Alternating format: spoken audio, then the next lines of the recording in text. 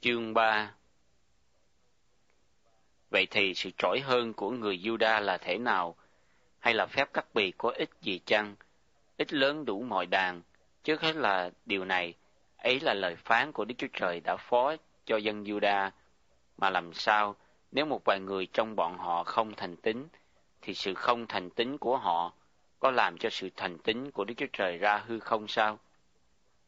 Chẳng hề như vậy, thà xưng Đức Chúa Trời là thật và loài người là giả dối như có chấp rằng ấy vậy Chúa sẽ được xưng công bình trong lời phán của Ngài và sẽ được thắng khi chịu xét đoán.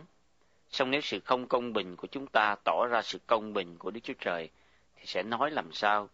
Khi Đức Chúa Trời giáng cơn giận thì Ngài không còn công bình sao? Tôi nói như cách người ta nói, chẳng hề như vậy. Nếu vậy thì Đức Chúa Trời đón xét thế gian thể nào? Nhưng nếu lẽ thật Đức Chúa Trời bởi sự nói dối của tôi mà được sự vinh hiển lớn hơn, thì sao tôi còn bị đoán xét như kẻ có tội?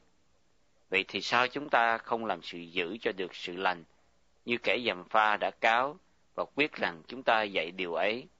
Sự đón phạt những người đó là công bình. Thế nào, chúng ta có điều gì hơn chăng? Chẳng có, vì chúng ta đã tỏ ra rằng người Juda và người Gareth thảy đều phục dưới quyền tội lỗi như có chép rằng chẳng có một người công bình nào hết, dẫu một người cũng không, chẳng có một người nào hiểu biết, chẳng có một người nào tìm kiếm Đức Chúa Trời. Chúng nó đều sai lạc cả, thảy cùng nhau ra vô ích. Chẳng có một người làm điều lành, dẫu một người cũng không.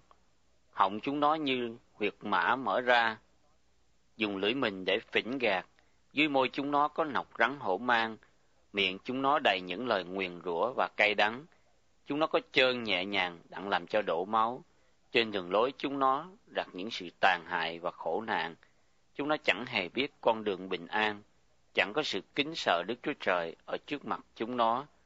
Và chúng ta biết rằng những điều mà luật pháp nói là nói cho mọi kẻ ở dưới luật pháp, hầu cho miệng nào cũng phải ngậm lại. Cả thiên hạ đều nhận tội trước mặt Đức Chúa Trời vì chẳng có một người nào bởi việc làm theo luật pháp mà sẽ được xưng công bình trước mặt Ngài vì luật pháp cho người ta biết tội lỗi. Nhưng hiện bây giờ, sự công bình của Đức Chúa Trời mà luật pháp và các đấng tiên tri đều làm chứng cho đã bày tỏ ra ngoài luật pháp, tức là sự công bình của Đức Chúa Trời bởi sự tin đến Đức Chúa Giêsu Christ cho mọi người nào tin, chẳng có phân biệt chia hết, vì mọi người đều đã phạm tội. Thiếu mất sự vinh hiển của Đức Chúa Trời, và họ nhờ ân điển Ngài mà được xưng công bình, nhưng không bởi sự cứu chuộc đã làm trọn trong Đức Chúa Giêsu Christ là đấng Đức Chúa Trời đã lập làm của lễ chuộc tội. Bởi đức tin trong huyết đấng ấy, Ngài đã tỏ sự công bình mình như vậy vì đã bỏ qua các tội phạm trước kia trong buổi Ngài nhịn nhục, tức là Ngài đã tỏ sự công bình Ngài trong thời hiện tại tỏ ra mình là công bình và xưng công bình kẻ nào tin đến Đức Chúa Giêsu.